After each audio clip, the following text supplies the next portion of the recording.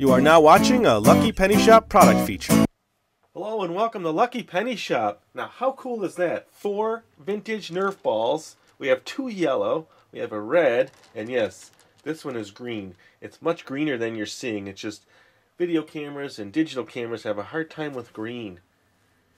See that? They're very squishy. It doesn't look like there's any issues with the foam on these. So altogether, there's the four. Let me show you the red one. They look to be in great shape.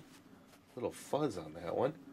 So there you go. If you're looking for Nerf balls, these are possibly in our eBay store. We are selling four vintage Nerf balls. How cool.